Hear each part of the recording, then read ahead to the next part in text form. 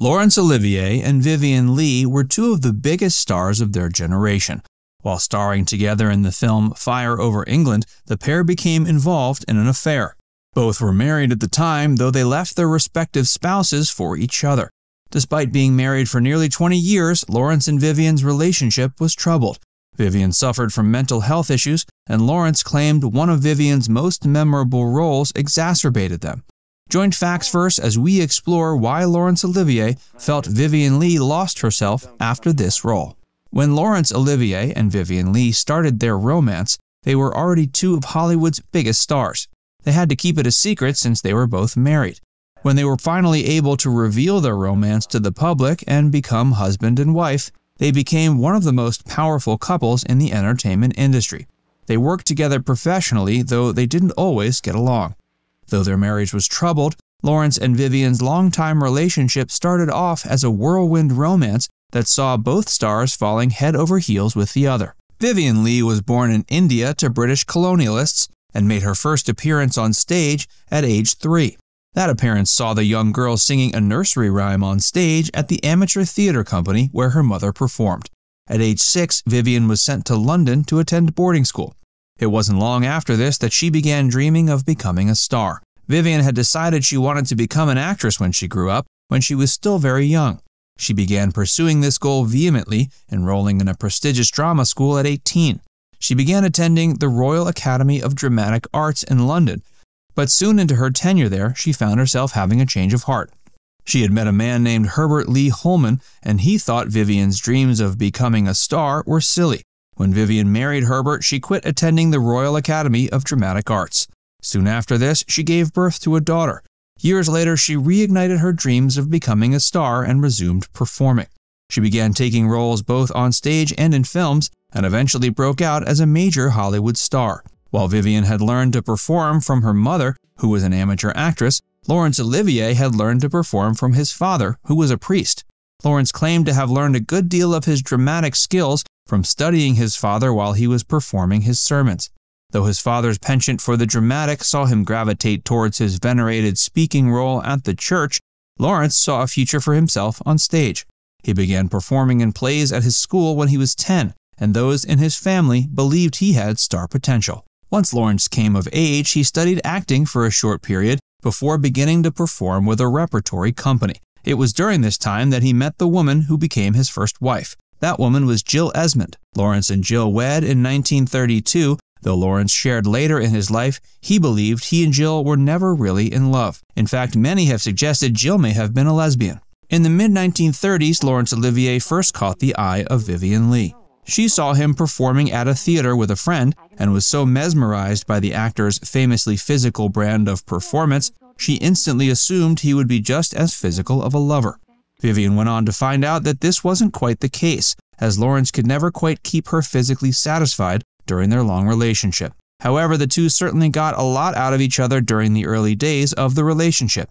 They began writing each other letters, even though they were married to other people. According to one of Vivien's friends, the actress claimed on the first day she saw Laurence on stage, she was going to marry the actor. When they were cast together as lovers in the 1936 feature Fire Over England, they couldn't help themselves from falling into an extramarital affair. This affair eventually caused the dissolution of both their marriages, paving the way for both of them to become the other's second spouse. Despite lasting for nearly two decades, their marriage was apparently tumultuous and filled with various scandals. Hey, if you're enjoying this video so far, be sure to give it a like and subscribe to Facts Verse for more. And stick around for more about Laurence Olivier and Vivien Leigh. Laurence Olivier and Vivien Leigh played lovers in the film Fire Over England, and they subsequently became lovers in real life. Though both stars were married at the time, they simply couldn't help themselves. Vivien had become adamant she wanted to become romantically involved with Laurence after seeing him perform on stage, and Laurence soon found himself falling similarly head over heels for her. The two were forced to keep their romance as private as possible due to their respective marriages. However, the fact that the two stars were having an affair soon became public knowledge in Hollywood. Though Laurence and Vivien were already huge stars when they became involved, they became bigger stars soon after becoming married. Vivien received her biggest role yet with the film adaptation of Gone with the Wind, while Laurence similarly saw success with his appearance in the film adaptation of Wuthering Heights. When the two couldn't be together due to their work, it allegedly drove them mad. Despite the fact they had to keep their relationship a secret, they had become essentially inseparable. In 1940, Laurence and Vivien finally talked their respective spouses into going through with divorces.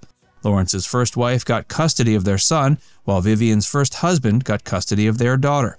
The two were free to start a new life together, and they did so in August of that year. After tying the knot in August, the two stars were finally free to show the public they were really in love. But their public marriage ended up being filled with scandal over the ensuing decades. Once they were married in real life, Laurence and Vivien continued to perform together both on the stage and in film. On the big screen, the two could be seen together in films such as That Hamilton Woman. Meanwhile, they enjoyed putting on theatrical programs together, including starring in a 1940 production of Romeo and Juliet. There were numerous problems that plagued Laurence and Vivien early on in their nearly two decade marriage. One of the things that haunted it was the fact that critics never seemed to consider Vivien quite as good of an actress as Laurence was. Despite her being an award winning actress in her own right, she had chosen to marry one of the most critically acclaimed actors of his day.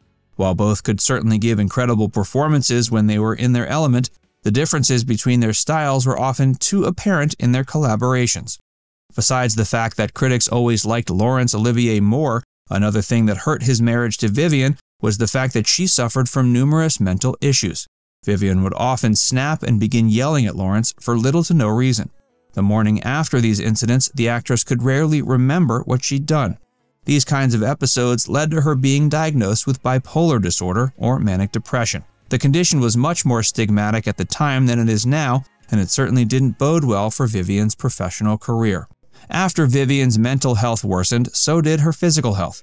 She suffered from both tuberculosis and a miscarriage over the course of the 40s, and there was a notorious public incident in which she and Laurence had slapped each other during a verbal dispute.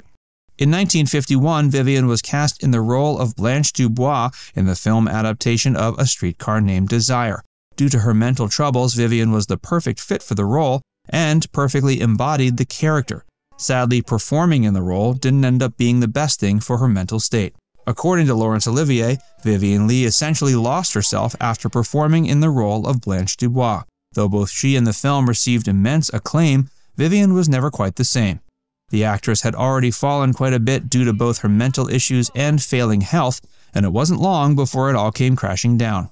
In 1953, she was fired from the production of a film called Elephant Walk because she was having hallucinations and uncontrollable fits of rage. She suffered another miscarriage soon after this, and it was only a little later that she and Laurence finally ended their marriage. They divorced in 1960 and both went on to marry other people. Vivien died in 1967 at age 53, and Laurence died in 1989 at age 82. Now it's time to hear from you. Did you know that Laurence Olivier and Vivien Leigh were both married to other people when they met? Let us know in the comments section below. And before you go, make sure you give this video a like and subscribe to Facts Verse if you haven't already. Click the bell icon to stay updated on all our latest content.